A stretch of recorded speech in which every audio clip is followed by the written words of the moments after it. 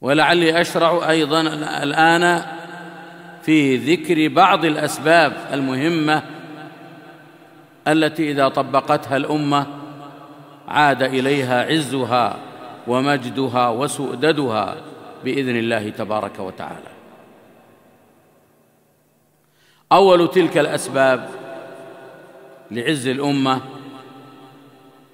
تحقيق التوحيد. وتصفيته من شوائب الشرك والبدع والمعاصي والجد والاجتهاد في ترسيخه في نفوس الأبناء منذ نعومة أظفارهم. لأنه هو الأساس الذي يقوم عليه البناء. أفمن أسس بنيانه على تقوى من الله ورضوان خير أم من أسس بنيانه على شفا جرف هار فانهار به في نار جهنم.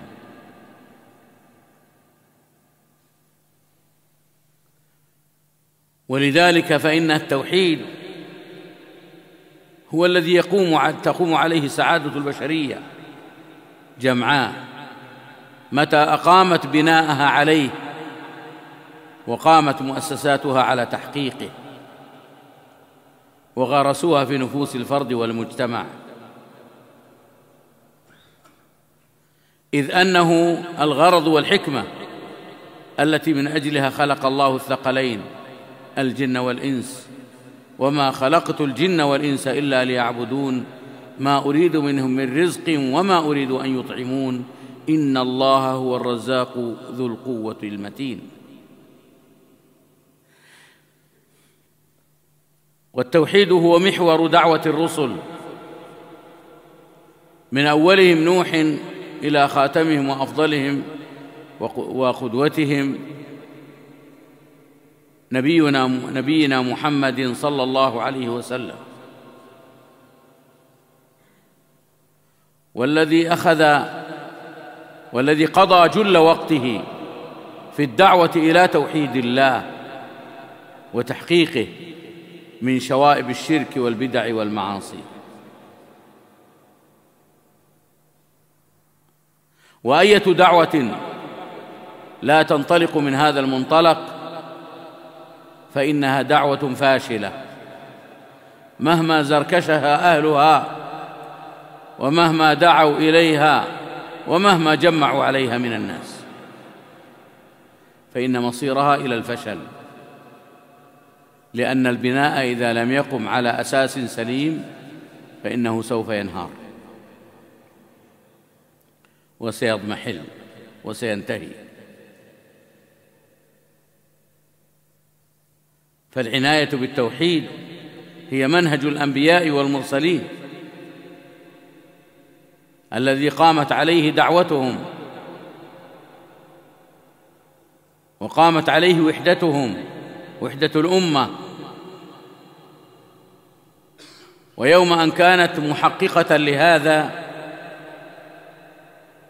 كانت أمة تفوق جميع الأمم قوة وشهرة وعزا ونصرا وتقدما وحضارة ونحو ذلك من المقومات. قال الله عز وجل ولقد بعثنا في كل أمة رسولا أن اعبدوا الله واجتنبوا الطاغوت. وقال جل وعلا شرع لكم من الدين ما وصى به نوحا والذي أوحينا إليك وما وصينا به إبراهيم وموسى وعيسى أن أقيموا الدين ولا تتفرقوا فيه. وقال تعالى وما أرسلنا من قبلك من رسول إلا نوحي إليه أنه لا إله إلا أنا فاعبدون. فالتوحيد هو أساس وأعظم تلك الأسباب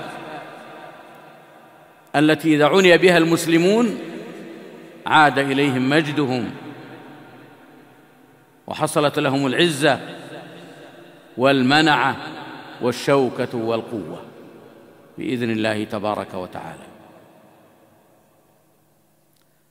وما نفد أعضاء وما نفد وما نفذ بعض أعداء الإسلام في صفوف بعض الأمة إلا بسبب ضعف التوحيد وبسبب الخلل الموجود في التوحيد. فإن بعض بلاد المسلمين تعيش ضعفا عظيما في توحيد الله. فهذه المشاهد تعظم وتعبد من دون الله. وهذه هي الأضرحة يحج إليها ويطاف بها ويستعان بأهلها ويطلب منهم قضاء الحاجات وكشف الكروبات وازاله وإزالة الملمات.